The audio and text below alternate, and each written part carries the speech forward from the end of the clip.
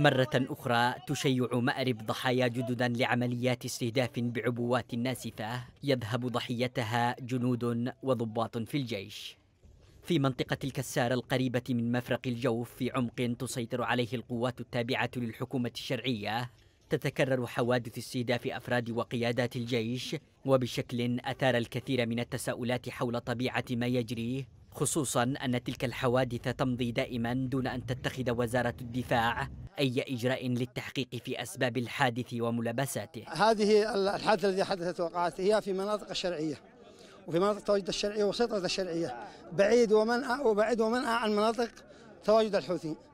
آه نحن في هذه القضية نحمل جهات آه يعني المنطقة السابعة على وجه الخصوص مع المنطقة الثالثة نحملهم مسؤولية الحادثة. العملية التي حدثت الأسبوع الماضي وقتل فيها تسعة عسكريين على رأسهم العميد عبد الله العبدي نائب رئيس عمليات اللواء 81 سبقتها عمليات أخرى في المنطقة نفسها بحسب مصادر ميدانية منها التفجير الذي أودى بحياة العقيد نبيل الوليدي في نهاية مايو الماضي.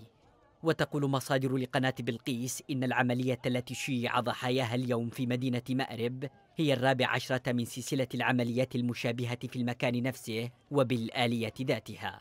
مبادرة قالوا أن هناك لجنة تحقيق تشكلت ونحن نتمنى أو مطلبنا مش تمني فقط ما نطالبه هو الكشف عن التحقيق.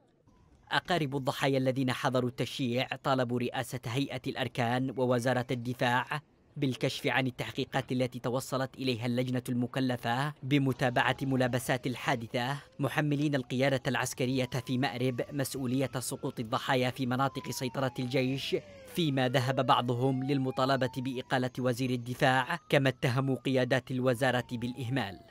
نطلب من القيادة السياسية إقالة وزارة الدفاع بالكامل لحيث وهي لا تقوم بواجبة وهي متقاعس تكرار العمليات وتشابهها وتطابق مسرح عملياتها يدفع بالكثير للتساؤل عن سبب امتناع وزارة الدفاع وغيرها من الهيئات المعنية عن اتخاذ أي تدبير عسكري أو أمني للتحقيق في الوقائع أو الحيلولة دون تكرارها.